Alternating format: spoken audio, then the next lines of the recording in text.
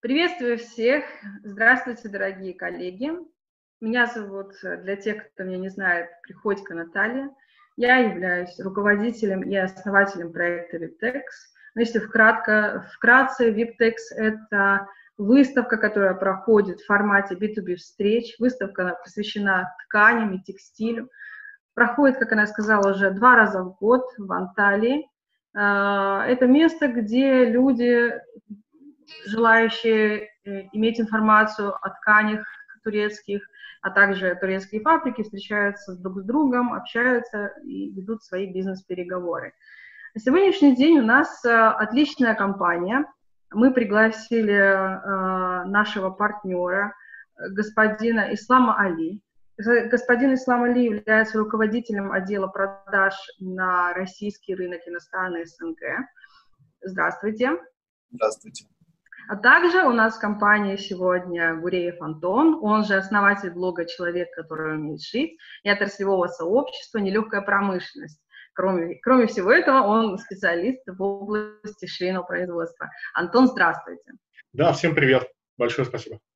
Да, давайте, наверное, ребята, начнем с того, что э, мы э, уточним господина Ислама Али информацию о фабрики. Расскажите, пожалуйста, немного подробнее о том, чем вы занимаетесь и вообще, что из себя представляет компания «Шексой текстиль». Э, добрый день еще раз. Э, фабрика «Шексой текстиль» является производством, которое входит в десятку крупнейших фабрик в Турции и производит полный цикл производства, начиная от начала нити. И существует с 1954 года на 850 рабочих мест в три смены круглые сутки и стараемся увеличивать э, свои объемы каждый год. Отлично. Какой процент из ваших объемов, которые производит ваша громадная фабрика, вы отправляете на Россию и на страны СНГ?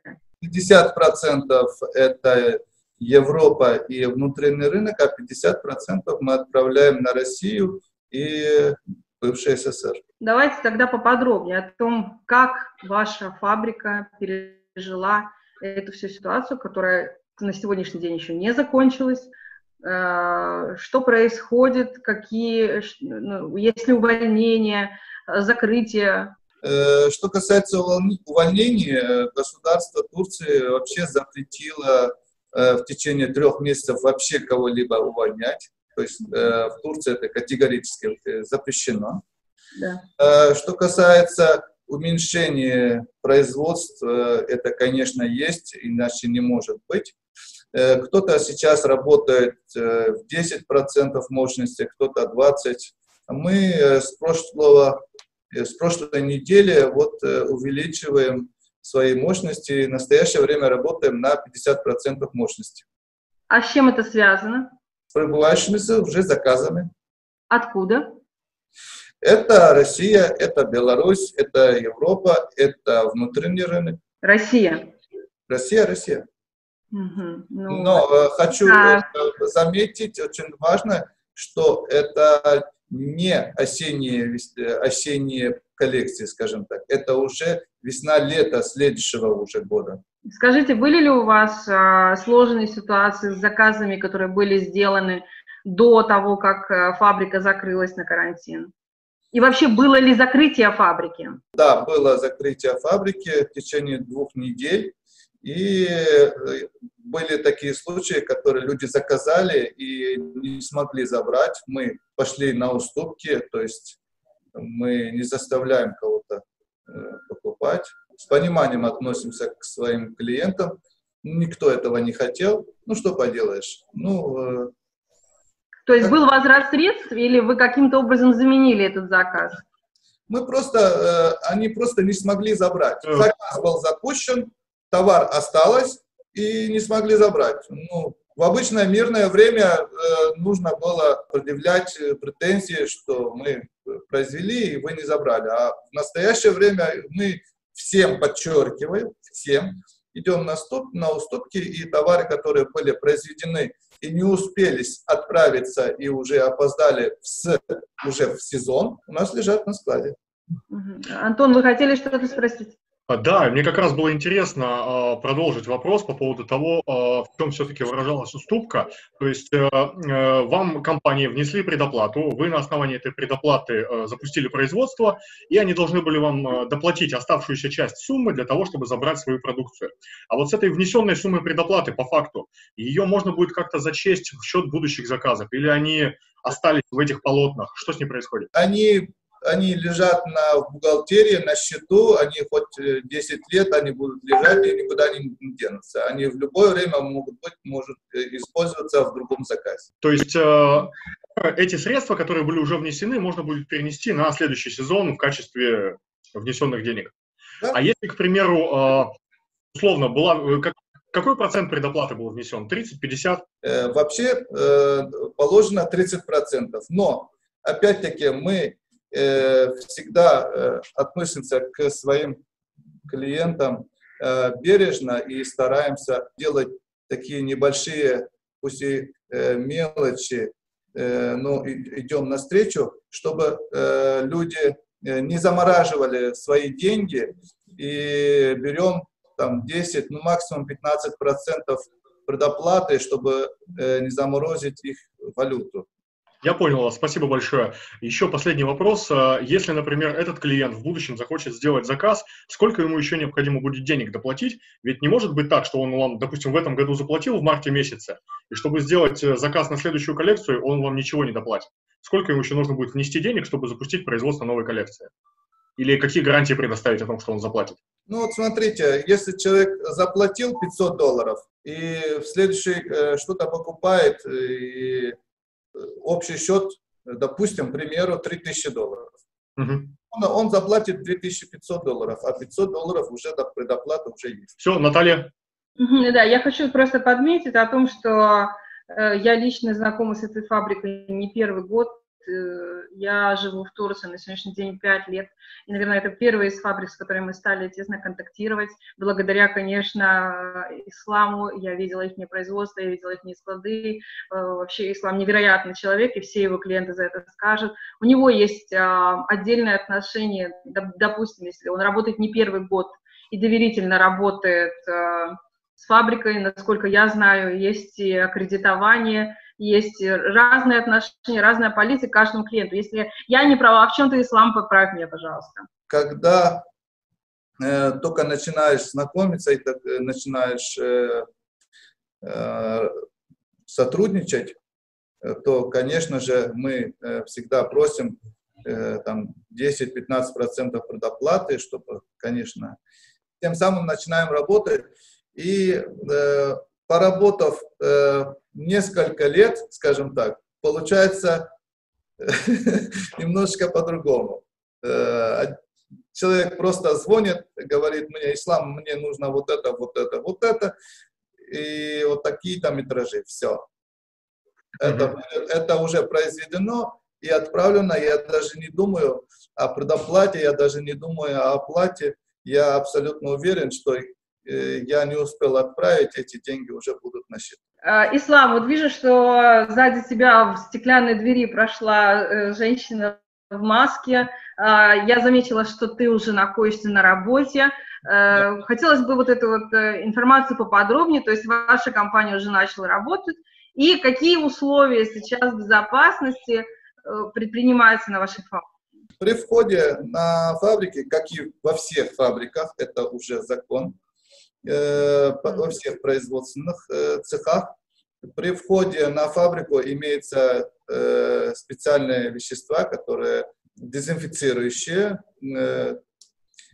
и также при входе нужно использовать, протирать руку. Это раз. И охранник проверяет температуру тела человека. Если выше 36,9, 37 Э, градусов, скажем так, э, охранник не опускает э, данного человека на производство. Могу ли я уточнить информацию? Раз э, ты на работе, значит, российский рынок, как ты сказал, уже начал работать, есть какие-то первые заказы, предварительные движения. Как себя чувствует Европа? Неважно, Европа или Россия или внутренний рынок, пока человек хочет кушать, после обеда ужин, после ужина на следующий день завтрак. Пока человек хочет кушать, он всегда будет работать, поэтому люди потихонечку начали подтягиваться и потихонечку начали думать уже на будущее и заказывать на будущее и работать на будущее. Угу. Какие прогнозы?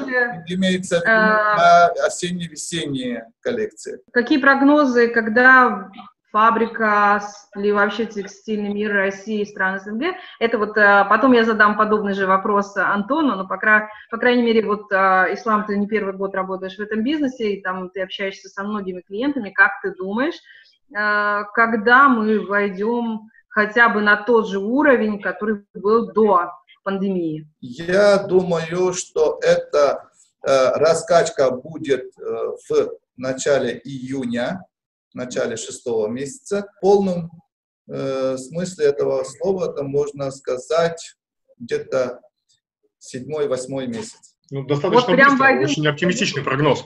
Да-да-да, но все-таки. Э, ну, мы же не говорим только за Россию, это же страны СНГ, правильно? Там же Киргизия, Украина, Белоруссия. Да, Белоруссия, да, это, собственно, да. она и, и не останавливалась. Да, э, я просто сейчас в среднем имеется, имею в виду. Угу.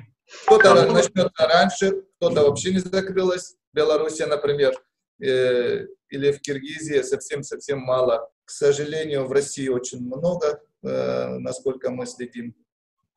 Больных. Да. А, Антон, как вы считаете? Ну, вообще, мое мнение на самом деле, что тут ситуация какая?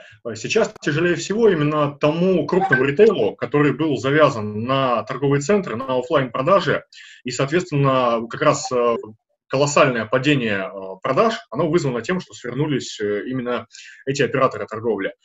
Из, моих, из моего круга общения, из тех предпринимателей, с которыми я общаюсь, из 10 пятеро рапортуют о рекорде по выручке на март-апрель, то есть они реально э, побили свои рекорды продаж, причем даже до карантинного уровня. И вызвано это было в первую очередь тем, что, во-первых, они э, осваивали онлайн-площадку задолго до. То есть, вот, например, э, предприниматель, там, заметку которого я сегодня в блоге выкладывал, они 6 лет делали ставку только на онлайн. И, соответственно, вот в этом месяце они там, сделали свои докарантинные показатели, выполнили планы нормы. Вот. И э, мелкий э, бренд, он будет сейчас очень активно расти, потому что будет применять все те методики и механики коммуницирования с аудиторией, э, которые э, сейчас показывают свою эффективность. На мой взгляд, полное восстановление ситуации вот так, как это было до карантина, возможно, не ранее, чем в 2021 году, может быть, в середине. Именно в связи с тем, что крупный ритейл очень сильно пострадал. И кто-то свернется, кто-то будет находиться в очень нестабильном положении все это время, и, соответственно, многих игроков мы можем просто не увидеть э, к осени. А может быть, и уже они находятся на стадии э, оформления документов о банкротстве. Ну, а я читала отчеты Валбрис и много их репортажев.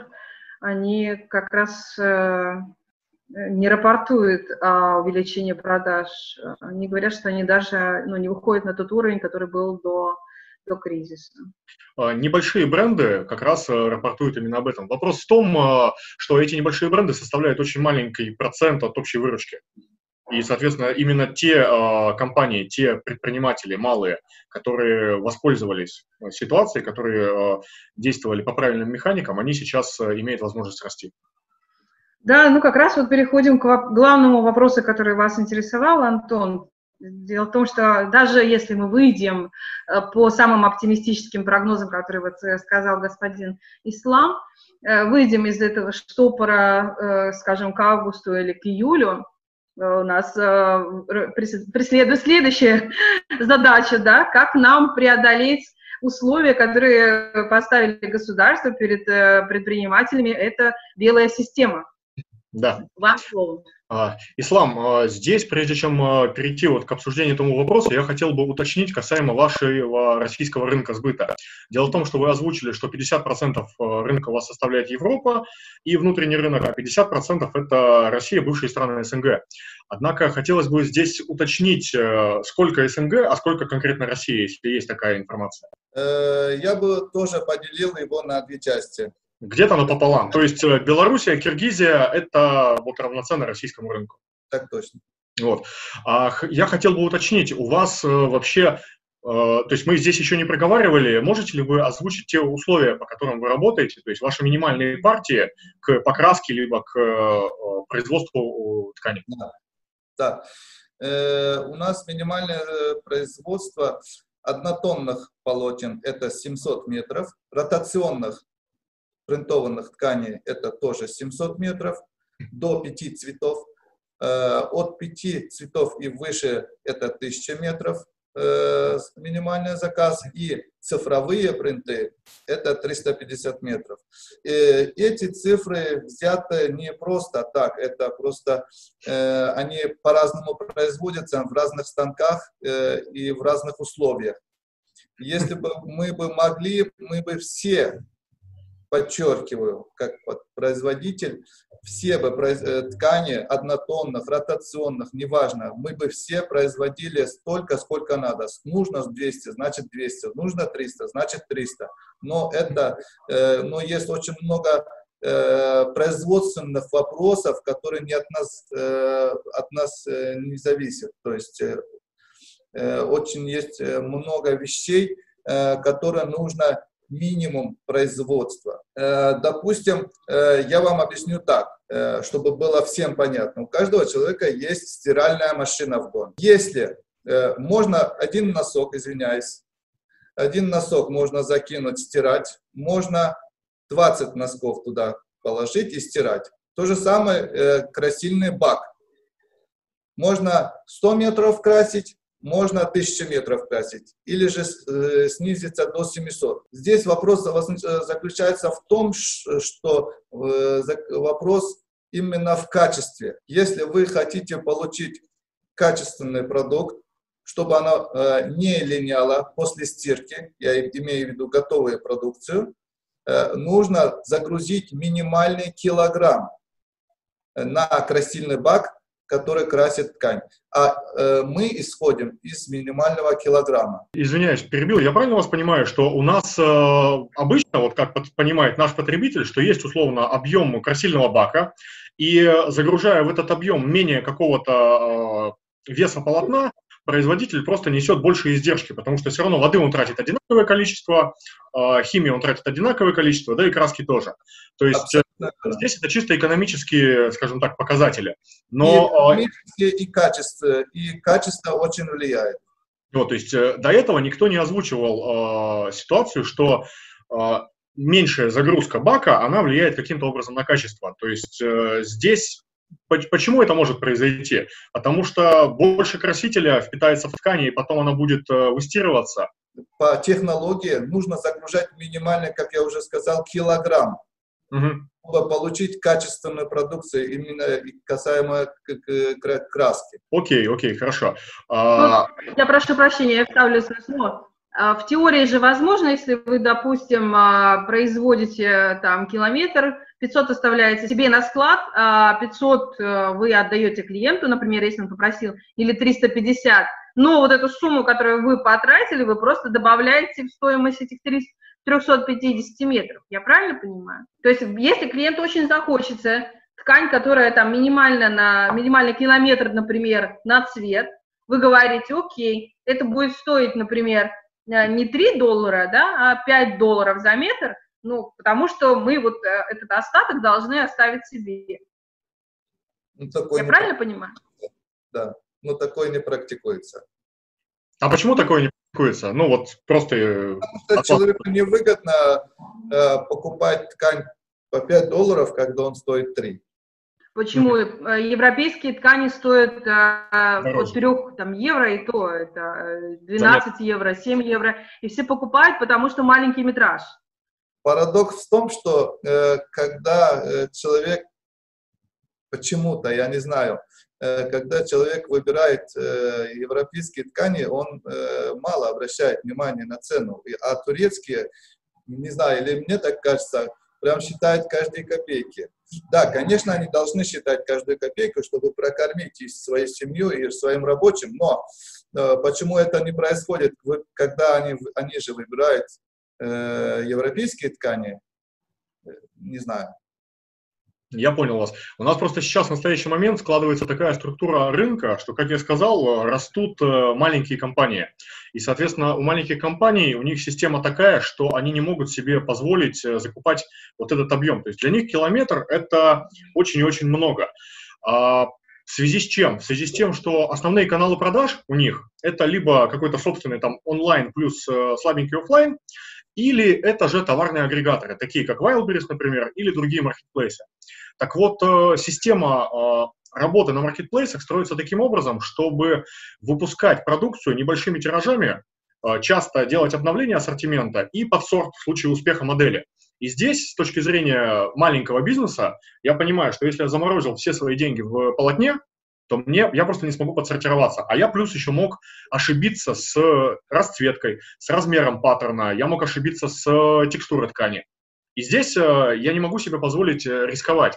И тут на самом деле вот к Наталье присоединюсь, э, соглашусь с ней, что многие компании были бы согласны, возможно, даже чуть дороже купить полотно, но имея при этом возможность взять меньший объем. Потому что, ну, километр просто это то, что сейчас рынок не скушает наш. Я с вами согласен. Э, я единственное, что я могу посоветовать э, своим клиентам, и до этого, и до сегодняшнего дня говорил об этом, э, обращаться на, именно на оптовые фирмы, с которыми мы сотрудничаем. Угу. А с кем вы сотрудничаете в России? А, один момент. Да, это, это другой вопрос, с кем мы сотрудничаем. А э, оптовые фирмы, которые э, приезжают, они э, могут себе позволить э, купить тысячи, две тысячи, а то и больше метров на один цвет. Угу. Эти же люди, которые по 200 метров им нужно, они могут покупать у них. Угу. Я только так э, предлагаю и предлагал э, своим же партнерам по работе, э, если им нужно небольшие метражи. Антон, mm можно на секундочку я тебя остановлю, потому что здесь идет такой разговор о том, что раньше там оптовые, ком, оптовые компании приезжали, а, общались, и э, ну, все это было более доступно. А что, если границы не откроют? ислам. Если какой, как вы вообще планируете сотрудничать дальше, потому что вот есть так, бытует такое мнение, что границы не откроются до следующего года в Россию, по крайней мере. Каким образом будут осуществляться продажи вот такие онлайн-ткани? Хотя ткани требуют тактильной, как бы, э, тактильной обстановки, да? Да, я э, абсолютно согласен э, с вами, Наталья. У нас вся надежда на то, что все-таки откроются границы, и будем, будем мы ездить как и было раньше, они приезжать, э, смотреть, брать, щупать, трогать. Э, как такое, такая вещь, это э, не просто так посмотрел, увидел, понравился, э, взял э, в онлайне. Это ткань, э, нужно его чувствовать, нужно его трогать, э, нужно на себе прикинуть э, мы все понимаем. То есть я, если я правильно понимаю, то у вас а, нету какой-то проработанной стратегии, как будем действовать, если не про... То есть, ну, мы тоже, конечно, верим и ждем, что граница откроется. Мой сектор пострадал больше, чем чей-либо, да, потому что мой сектор завязан на массовых мероприятиях. И естественно, я молюсь о том, чтобы люди приехали. Но если этого не произойдет, что будем делать? Есть ли какая-то стратегия, какой-то путь, дорожная карта? Э, единственное, что я могу сказать по этому поводу, есть э, аппарат, э, который фотографирует 3D. Это новое, я сам тол толком еще не ознакомлен с этим проектом. Аппарат, который фотографирует и отправляет э, в формате 3D, который человек может э, увидеть переплетение, э, увидеть точный цвет, точную тональность. Ну, здесь же самое важное в полотне – это тактильное ощущение, поэтому здесь, наверное, это решение, оно из разряда фантастических решений. Вот, на самом деле, а рассматриваете ли вы... А рассматриваете ли вы, э, может быть, какое-то представительство для того, чтобы отправить сэмплы, и человек мог реально тактильно познакомиться с полотном, прикинуть на себя? Потому что это решение из разряда, ну вот как раньше ездили агенты с чемоданами, так, собственно говоря, может быть и сейчас. Э, вы знаете, главное, чтобы самолеты начали летать, остальное все э, дело техники. И ну, решать. по большому-то счету, вы же рассчитываете на... Ну, у вас сейчас есть заказы, и, в принципе-то, вы уже готовитесь отгружать продукцию. То есть э, доставить чемодан с тканью, наверное, не будет э, большой проблемой. Карго а, работает, да. Ну вот. Имеете в виду с каргой? Да, почему? Мы имеем в виду, что, возможно, у вас есть возможность или план от, э, найти... Ну, официального представителя, который не будет задирать цены, который будет э, прям вот и шиксой текстиль только в России. Да. Потому что мы же понимаем, что любой агент, который приходит, э, как бы агент, та же оптовая компания, это сразу две цены. Накрутка. Это очень большая накрутка в деньгах. И, собственно говоря, отсюда вытекает следующий вопрос. А, смотрите, у нас вообще а, если вы в курсе, то в России сейчас идет очень активная подготовка к тотальной маркировке продукции, что вызывает э, ряд проблем у российских производителей. И в первую очередь эти проблемы связаны даже не с самим процессом интеграции этого решения в работу, они связаны с другими, скажем так, опосредственными последствиями, это э, необходимость работы в белую для российских компаний да. и повышение цены на материалы, которая э, такая схема работы, соответственно, вызывает у, вот, при работе, например, с турецкими поставщиками. Потому что разница порядка 40% в стоимости. Да. Вот. Здесь э, вообще э, насколько ну, какое ваше отношение к этому, да, к этой ситуации? То есть э, идет ли ваша фабрика каким-то образом навстречу для того, чтобы помочь э, потребителю официально покупать со всеми документами и делать правильно, скажем так, да, белый бизнес? И если нет, то как бы почему? Если да, то что конкретно происходит? Антон, э, что касается работы, э, которую вы называете, мы 12 лет назад начали, начинали работать с Белоруссией, и по сей день работаем именно так. Uh-huh. И это является правильной работой. Так uh-huh. и работаем с Европой. Э, что касается э, проблемно для нас или не проблемно, нет. Для нас наоборот. Лучше для, для нас наоборот приемлемо работать в, э, белую, как вы говорите, и будут заключаться контракты между фирмами, э, поэтому мы только за. Нет, вы неправильно услышали. Э, Антон хотел сказать о том, что стоимость, потому что Беларусь это система, система отработана. У них, грубо говоря, раз там можете привезти там ткань, ну, 200, 300, 400 долларов обходится. В отличие от России, где это будет стоить увеличение, правильно он сказал, увеличение стоимости на 40%. Это очень внушительно. Это очень внушительно. По сравнению, то есть ну, ткань выйдет э, золотая. Э, он хотел спросить, э, ну, возможно ли фабрика э, э, проработает какую-то программу по снижению цены, стоимости, не знаю, э, есть ли у вас, как, есть ли у вас какие-то мысли на эту тему? Э, вы знаете, есть в каждом товаре есть себестоимость. Чтобы снижать цену, мне нужно снижать себестоимость. А снижать цену возможно только или в качестве основы, или в качестве красителей, или в качестве закрепителей химических составов которой э, ткань обрабатывается. Если вопрос, вопрос. Хотите ли вы покупать ткань, которая покупалась, покупали у нас до нас качественную, хорошую, или же дешевую, но, дешев, но дешевле? Ну, то есть вы готовы к тому, что у вас э, реально с декабря месяца отпадет э, энное количество число байеров? То есть мы здесь завязаны на таможенную систему, на вот именно те проблемы, которые возникают при переводе денег и при э, растаможке у нас. То есть это вот два момента, которые на ровном месте э, удорожание до 40%. Ну, плюс какие-то логистические издержки, но это несерьезно. То есть э, логистика, она не очень дорогая. Проблема только в банковской комиссии и в растаможке. Антон, э, э, дело в том, что если произойдет именно так и по-другому никак невозможно будет э, работать, угу. то э, есть такая поговорка, это резать на ту ветку, на котором сидишь. Угу.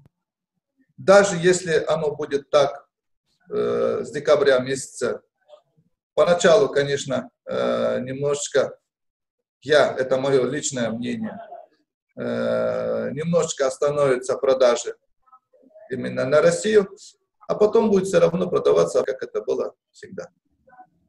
Я понял. То есть э, ваше мнение, что российский э, ваш клиент, он все равно найдет э, способы закупать по той стоимости, по которой он закупал? Да, конечно. Да, угу. да. Я хотела уточнить, а есть ли у вас на сегодняшний день компании из России, которые работают уже напрямую?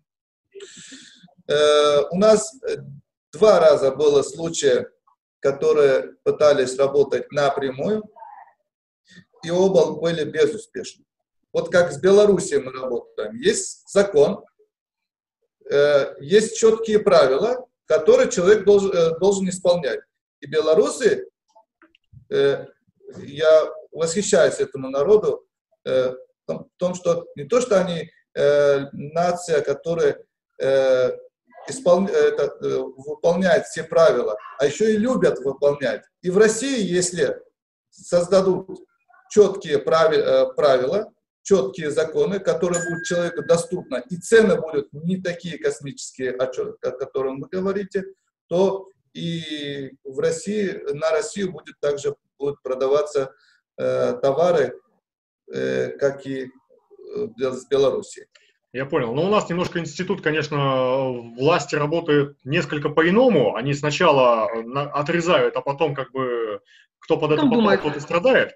Вот. Ну, иногда и не думают. Иногда и не думают случаев. Ну ладно, давайте сейчас не будем тогда в эту полемику углубляться. По крайней мере, э, ситуация мне ясна, и отношение к этой ситуации мне тоже понятно. А, Антон, Я... а, ваше, а ваше мнение о том, как это должно проходить, и как мы вообще выйдем, как, как, это... выйти, как выйдет рынок из этой ситуации? Из ситуации с маркировкой. Ну, если честно, мое мнение, что маркировка будет э, отодвинута. То есть э, сроки реализации программы, скорее всего, будут сдвинуты. Это показывает и опыт э, текущих внедрений на текущем рынке, да, то, что они там маркировали и двигают, двигают. Э, и какое-то время, ну, а потом просто всех прижмет.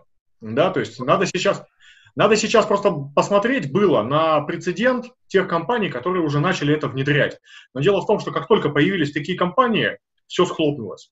И некого сейчас спросить. Спортмастер сейчас, который начал внедрять про- пилотный проект, он, ну не знаю, там по информации, которая есть, он на грани находится. Остальные крупные проекты тоже совершенно непонятно либо э, мы очень сильно упадем в производстве и, не знаю, там, уйдем куда-то в другое место, потому что, ну, большой рынок в любом случае, мы закупаемся там большей частью э, турецкие полотна, и оптовые компании закупают у нас большей частью турецкие полотна. А, либо, ну, на, надо смотреть. Сейчас как бы очень сложно на эту тему рассуждать, потому что голова сейчас болит у всех явно о другом, вообще как выжить, а не как э, какие-то вещи сделать. Поэтому хотелось бы посмотреть на пилотные проекты и пообщаться с ними. Нет, ну обувь же, она уже промаркирована, шубы давным-давно. Как-то работает, как-то работает. Здесь просто вот именно вопрос с, с тем, как это работает, да, то есть с обувью большие проблемы возникают. С маркировкой изделий, то есть э, я не знаю, насколько сейчас решили вопросы комплектности, да, то есть когда это идет э, продажа комплектом или когда идет, ну, вот эти все остальные моменты. И здесь даже там, с российской стороны будут большие проблемы не в программном обеспечении, не во всех вот этих вещах, а просто в физическом процессе нанесения кодов. Вот это будут проблемы, потому что если мы говорим про основного потребителя, да, вот, э, который аккумулирует всех поставщиков, та же самая компания Wildberries, так они сейчас не могут переупаковку обеспечить. Они просто не могут ее обеспечить. Так какой там хаос будет твориться, как только введут чип? Либо оно все просто встанет, либо нужна команда, которая делала сервис «Мои документы» в России, И загонять их надо было туда года три назад для того, чтобы наладить складскую систему на маркетплейсе. Потому что реально наши маркетплейсы, они со складом работают прям плохо. Зайди в любой чат в поставщиков, Озон, Ламода, Wildberries, там просто километровые э, ну, сообщения о том, что нас не слышат, с нами не работают, нам возвращают бракованную продукцию, нашу продукцию воруют. А не происходит никакой работы с этим. Поэтому, когда ведут маркировку, будет большой хлопок. Ну вот, а дальше уже по ситуации будут действовать. А маленькие интернет-магазины, кто был в Инстаграме, в сети, они до тех пор, пока это будет э, реально, они будут работать именно таким образом. Ключевые проблемы будут испытывать... Да, да, ключевые проблемы будет испытывать средний крупный бизнес. А, мелочевки это пока не коснется. Даже там, если мелкий какой-то производитель захочет работать в белую, у него будет такая возможность, потому что программные решения дешевые. А, принтер, ну, 20 тысяч рублей стоит, опять же, если ты зарабатываешь э, деньги, 20 тысяч это немного, ты можешь их потратить.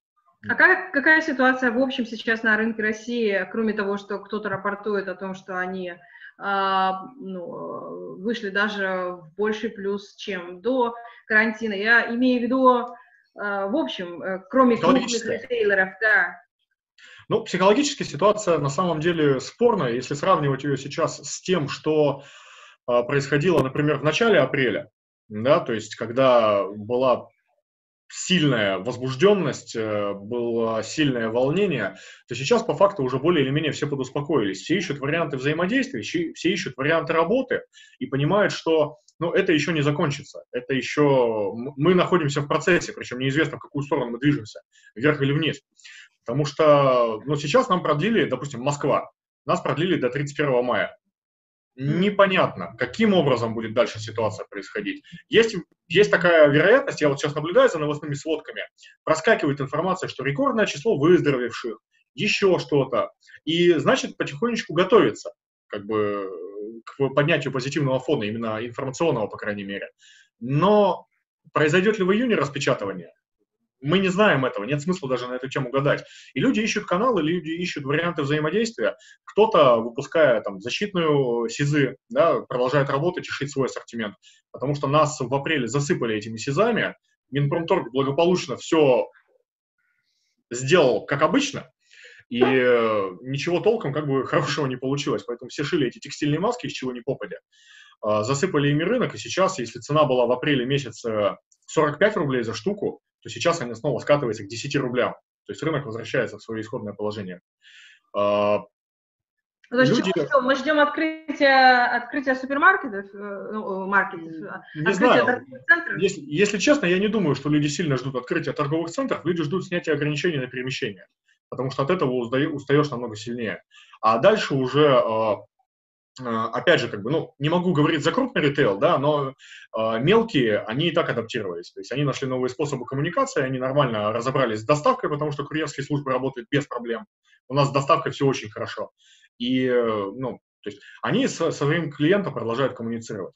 То есть самое главное сейчас тестировать э, каналы и искать вот именно язык, язык, на котором можно говорить с, твоим, с твоими людьми, чтобы они от тебя не устали чтобы вот нести им что-то хорошее, то, что им нужно сейчас. И все. Вот, то есть, ну, на мой взгляд, вот так. Давайте подытожим нашу конференцию. Э, Антон, ваш э, совет, а потом спросим и Ислама э, нашим зрителям, что бы вы посоветовали, какие-то дельные советы. Что бы я посоветовал нашим зрителям? Ну, я являюсь сторонником того, что э, не компании работают с компаниями, а люди работают с людьми, поэтому в любой ситуации оставаться верным э, договоренностям, оставаться верным той политике, которая была выбрана, и э, быть, быть человеком, быть профессионалом своего дела. Поэтому это, на мой взгляд, самое важное. Чтобы Оставаться профессионалом, да, несмотря ни на что. Да, оставаться профессионалом, несмотря ни на что, не биться в истерике и не нарушать данное слово. А если происходят такие ситуации, когда ты вынужден это сделать, говорить, потому что ну, мы только на диалоге сможем всего достичь. Вот, что касается работы с поставками тканей и с э, рынком внутренним, искать способы решения, искать способы взаимодействия, считать риски и отдавать себе отчет в своих действиях, что если ты что-то делаешь неправильно, надо понимать, что тебе за это может произойти. Потому что, ну, других, я так понимаю, вариантов у нас нету. Спасибо. Ислам, ваше напутственное слово. Я, я могу посоветовать, чтобы люди, конечно, это очень тяжело, но тем не менее набраться терпения и стараться удержать всего, что имеешь, хотя бы. Вот. И что касается, э, что шить, я могу, у меня только одно мнение, что э, платья, блузки, они висят э, в шкафу, в шифонере, они еще не износились. Я думаю, что после пандемии будет не так востребовано, так сильно, скажем так, потому что люди будут потихонечку выживать, потихонечку покупать только самое необходимое. Вот. Но э, что касается одежды, они износились, но износилась только домашняя одежда, угу. которая носится и носится, э, они уже износились, и э, я думаю, э, что люди еще и домашнюю одежду будут покупать. Ну, если вы знаете, у нас, э, у меня у самой есть две группы, которые я веду в Телеграме и в, в WhatsApp. Честно говоря, наши производители немного подупали духом. Э, все считают, что даже если мы, если торговые центры заработают, народ не побежит э, одеваться. Я считаю, что это немного необоснованные э, выводы, потому что, ну, первое, народ соскучится, наверное, по одежде. Ну и карантин, в конце концов, он не, а, не, не, не превратил нас в обезьян, да, мы все равно требуем одева, одежду, это то, что, это то, что необходимо нам всегда, так же, как и еда, питье и так далее. Люди будут одеваться, конечно, будет производство, конечно, будут, конечно. но мы должны понимать, что это будет маленькое переформирование, да, вот рынка да, и да. потребности в целом. Дай да. Бог, чтобы у нас произошел такой же скачок на наших русскоговорящих рынках, такой же скачок, как произошел в Китае, да, когда Гермес открылся, там э, продажи побили вообще все ожидаемые, неожидаемые э, варианты. Дай бог, чтобы это такое же произошло и в России. Ну, э, я, мое личное мнение, что это будет произойти постепенно у нас все-таки. Будет происходить постепенно. Да, точно. Ну, будем надеяться. Но, э, но, мы, но мы все выживем, мы все будем работать, мы обязательно будем ездить, мы обязательно еще много-много раз будем встречаться на платформе WebText, э, поэтому я только позитивно настроен. Сегодня мой официальный первый рабочий день, поэтому... Поздравляем тебя! Спасибо! Хорошей работы, активной. Э, у нас очень э, много всего начали уже открываться, там торговые центры, там э, парикмахерские, э, салон. Да, да, я смотрю, ты хорошо выглядишь, побрит. Спасибо. Э, поэтому э, все будет хорошо. Я э, такие же э, информацию получаю, когда э, смотрю по телевизору на Европу. И очень надеюсь, очень с надеждой жду э, такие же информации я скоро получу также от э, российских каналов. Ну да, Европа уже как минимум... Я тоже слежу, э, который есть спутниковая. Кстати, Европа ожила, у вас есть заказы? Да. Угу. Ну, отлично. Ну, отлично. Хорошо, ребят, спасибо большое. Да, спасибо большое. Э, Шамиль? Вам спасибо. Все. Э, я думаю, что все получилось хорошо.